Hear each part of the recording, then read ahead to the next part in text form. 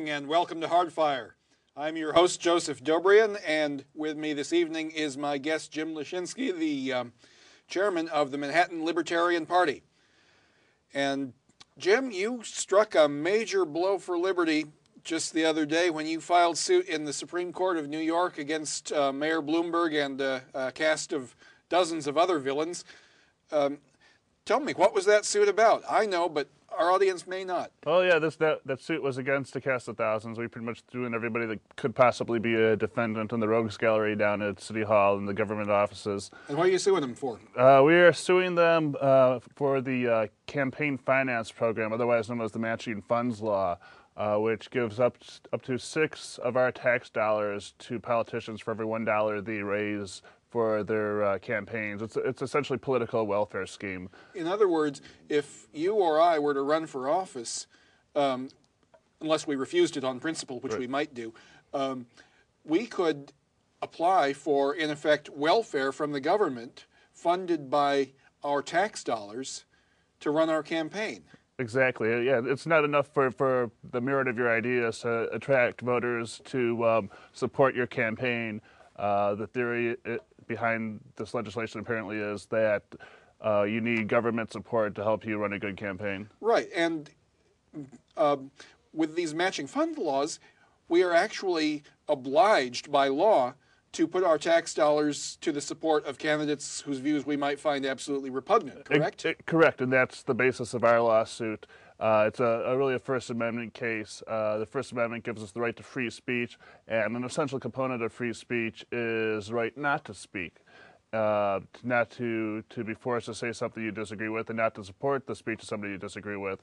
And by forcing you or me or other taxpayers to use our, our tax money to support a candidate that we may, may object to, um, it's essentially compelled political speech. Okay. Now, um, some, some hair splitter might argue that, uh, after all, the federal Constitution has a First Amendment, but um, is local law governed by that? I mean, after all, uh, I think it was John Jay who said that uh, the powers of the federal government are limited and finite. Those of the local government are many and infinite. But um, well, in some accounts, when the, the uh, Constitution, of course, is the highest law in the land, and all other rights are, rights are supported to that. There's also the 14th Amendment, which um, says that the uh, the um, provisions of the Constitution also the, the, Bill of Rights also applies to the states. Uh, furthermore, the New York State Constitution, Article 1, Section 8, uh, has free speech language pretty similar to the First Amendment. If not identical in language, pretty darn close. And well, so there's a New York State uh, constitutional provision for free speech. Okay, that's good to know. But uh, are the courts going to enforce it? Do you think we've got a shot with this suit? Oh well, as I like to tell people, I think I won this suit the moment I filed it. Uh, we're really fighting in the court of public opinion, and uh, shows like Hardfire in the press, uh, a lot of um, of the media have picked up on this already, and we're hoping for more. And so what we're really hoping to do is shine a light on this um, obscene um, political welfare scheme. And whether the courts agree with it or not, I think it's a sound legal case, but it's really beside the point as far as I'm concerned. I really don't care what some guy in a black dress down in Centre Street has to say about this. I, I know what's right. I know what the Constitution says. And I'm just hoping to turn a lot of more people on to uh, this outrage and uh, get more voters upset about it. Okay, but now supposing you win your suit, what would the consequences be immediately? Well, the consequences immediately be, would be that these people running for office would have to run on the merits of their campaign, and if they have a strong campaign, then people will support them with with uh, financial contributions and with volunteer support.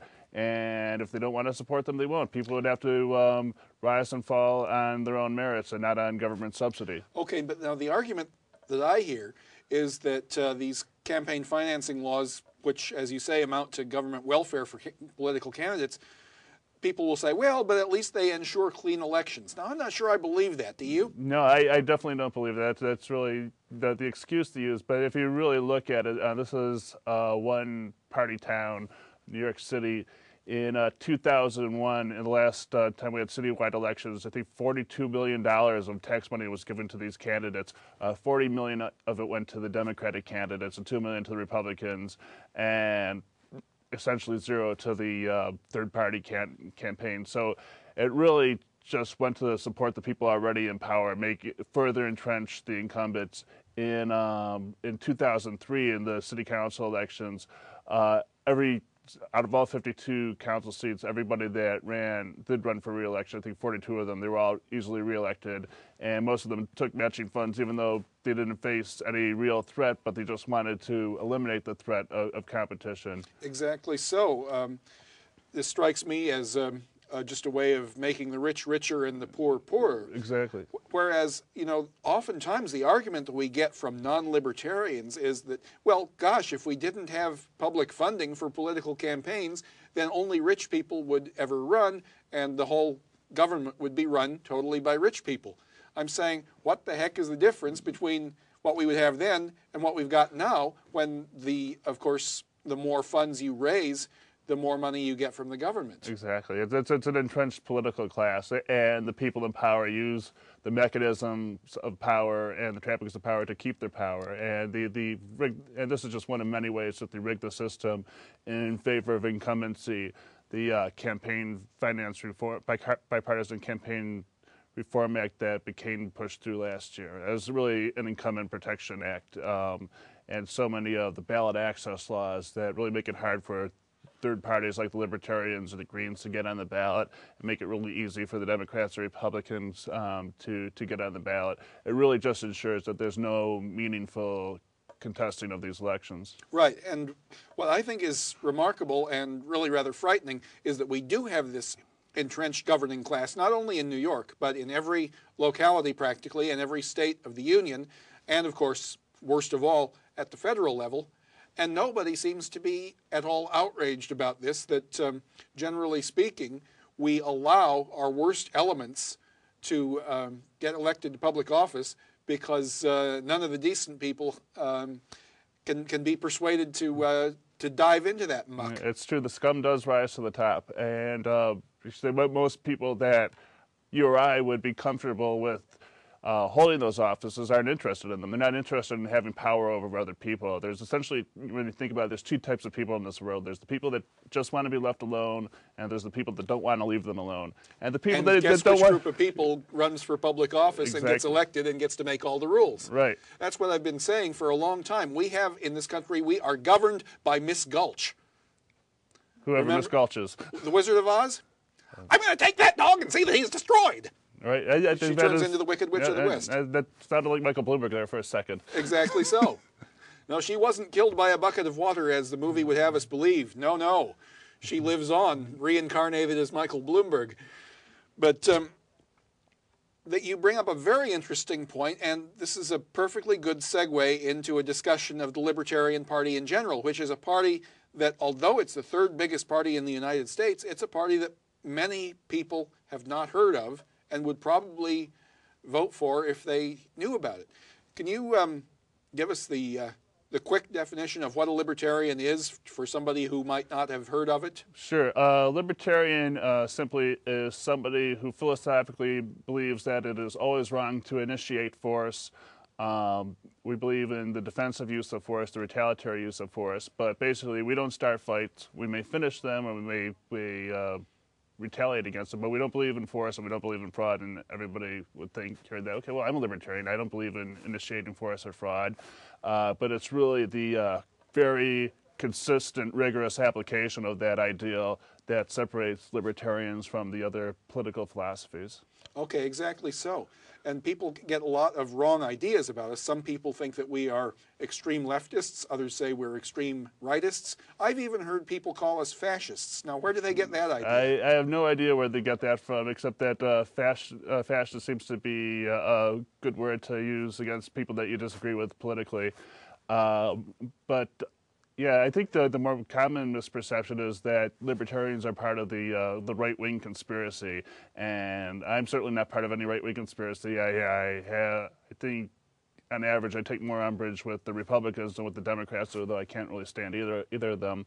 But it's really neither left nor right. It's about uh, really more about more government power, less government power, more personal freedom or less personal freedom. Do you trust people to run their lives or, or don't you?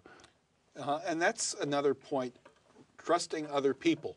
So many people, when they object to libertarianism, they say, but you know, people are not good. You, you, you libertarians, you seem to assume that everybody's good, that everybody's going to do the right thing. Uh, we can't make that assumption. That's why we have to have government. Right. And, and again, that gets back to well, well, look who the people that that uh, seek government power are. They're the people that you can't trust and you wouldn't want to trust. The very fact, if you if you believe that people are are that bad and they can't be trusted, guess which people are going to be going for government power? And that's why we have to have a limited government, if any, is is to keep those people uh, from ruining our lives by giving them power over us. Okay, now some people would have you believe that libertarians uh, do not want any government at all. That's not quite true, is it? Uh, it, it, depends. I think there's uh, within the big tent of libertarianism, uh, you have what we call minarchists who believe in the uh, a small, limited government, and we even have an anarchist swing of the libertarian uh, movement that believes no government. It really comes down to you know the, the, whole force or, or fraud um, proposal that I, I, mentioned earlier, and um, certainly if you had a government that did not initiate force or fraud, um, you would have a libertarian government. Um, I think the U.S. Uh, United States, the way it was originally envisioned by the founders, came pretty close to that ideal, with uh, certain egregious exceptions like slavery and so forth. But um, the ideal of the uh, the Bill of Rights and that people would have sole dominion over their lives, and the government would really just only serve to protect their rights. That's right. Close Although, to a libertarian ideal of government. The founding fathers were not really so libertarian at the state and local level. Some of them were quite authoritarian at, at the lower levels right. of government, but uh, they were much less so at the uh, at the federal levels. Mm-hmm.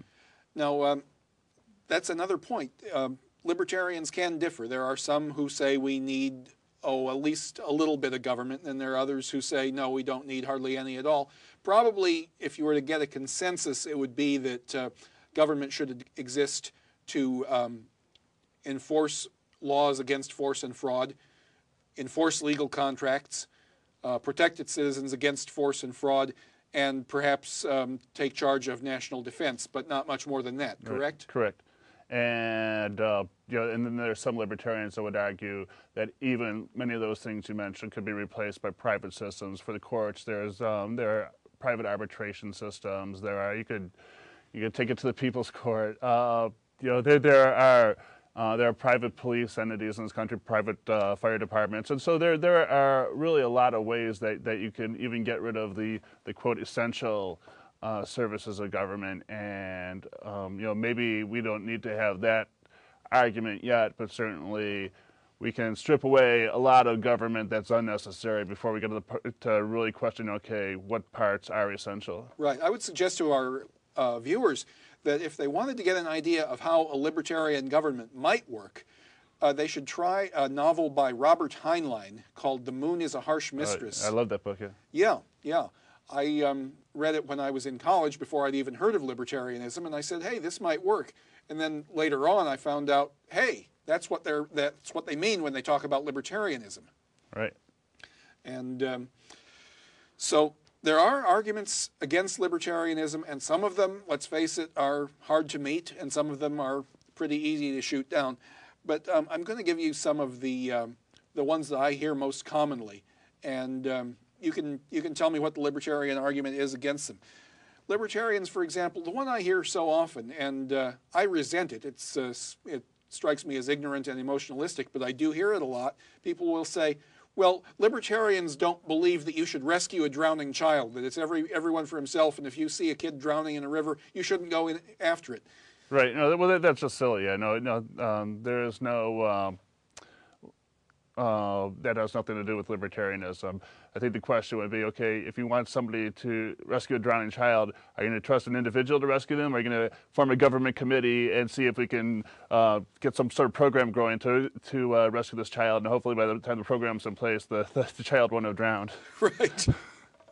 um, and uh, some, somewhat related to that is the idea of um, where is charity going to come from? Because um, as the good book says, uh, the poor will always be with us, whether we have a libertarian or an authoritarian mm-hmm. society.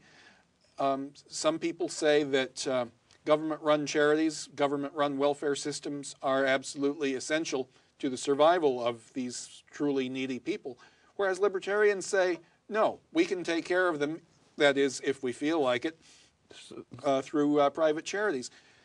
Um, what is the libertarian stance on on social welfare and charity and uh, so forth? Uh, you know, the libertarian stance is that social welfare and charity are, are, are wonderful things, and um, certainly they are to be encouraged in, in a polite society. Uh, on the other hand, uh, government doesn't really do a good job of it. If you look at the um, the uh, great uh, society that Lyndon Johnson envisioned and ending the, the war on poverty, the war on poverty. Um, you know, like any other government war that they seem to declare, the war on poverty gave us more more poverty, just like the war on drugs gave us more drugs.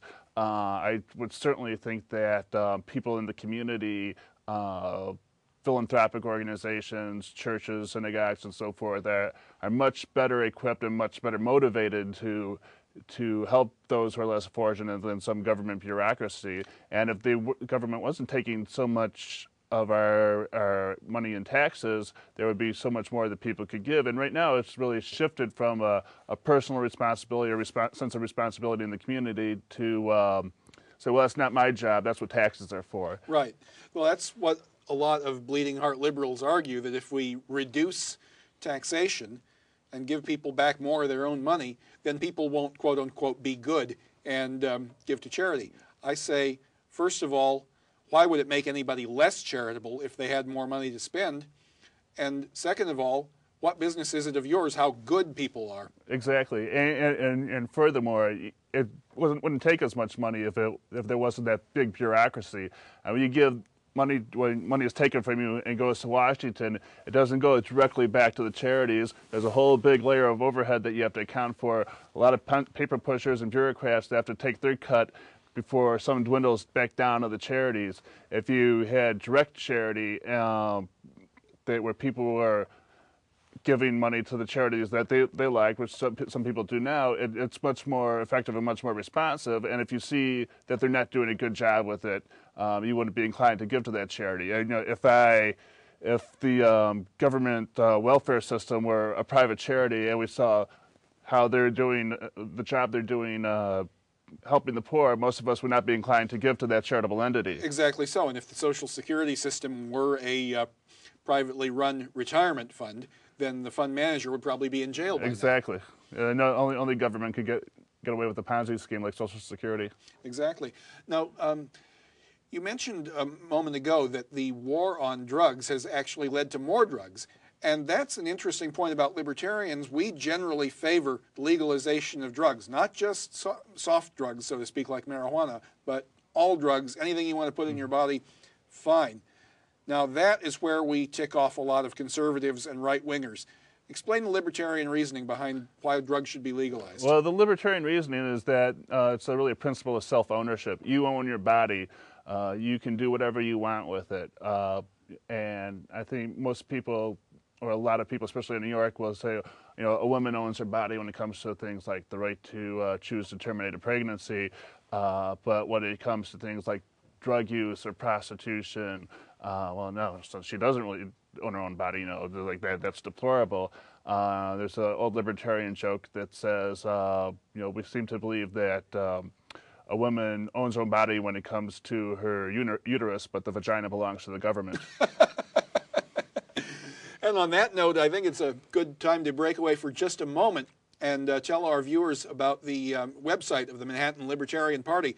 If you're interested in learning more about libertarianism and perhaps joining the Libertarian Party, just um, go to your computer and punch in www.manhattanlp.org. And um, once you're there, you can send an email asking for more information.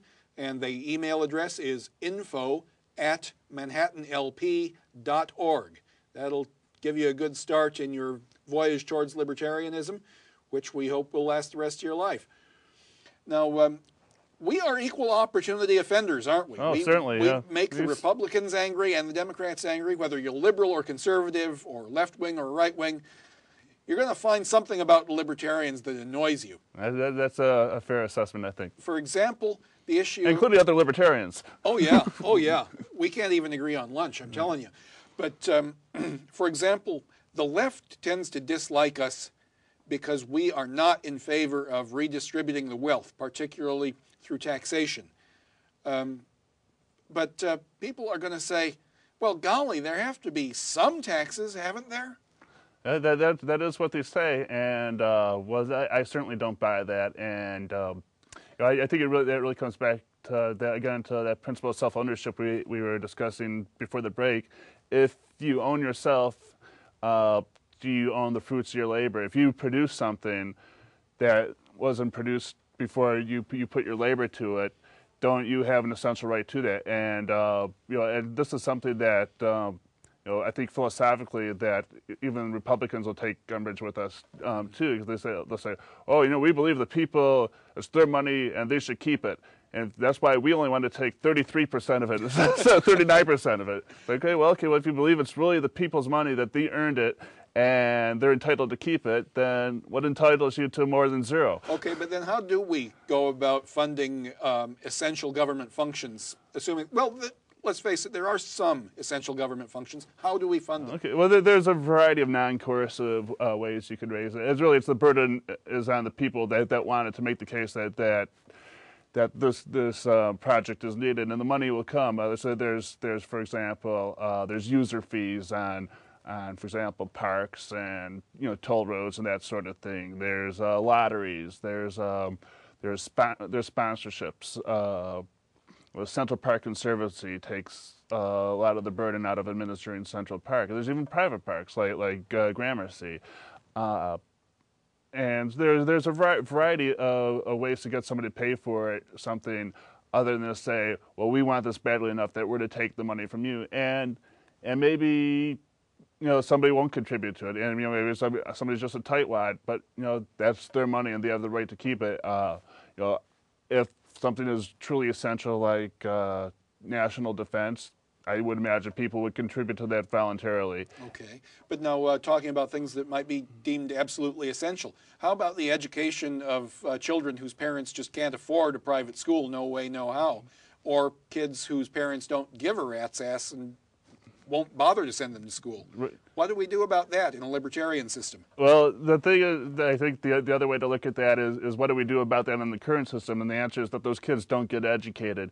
Uh, if there's not a drive at home for, for the children to be educated, um, they're not going to get educated. And certainly not sending them to a big uh, government institution uh, to be one of 30 kids in a, in a room. They're not going to get educated. The, the learning really starts at home and you know there's always homeschooling. And uh, you know you can pull your resources among other student other uh, parents. And you know i think one of the fallacies as well you know i work how am i supposed to, to homeschool my child? And it really takes only what the schools teach in eight hours. You can probably teach your child in two to three hours a day if that. Okay. But now we have uh, compulsory education all through the united states. Would that be uh, would that that would go. under, that would go. Right. Okay suits me. Yeah, I, I, I, hated school when I was a kid.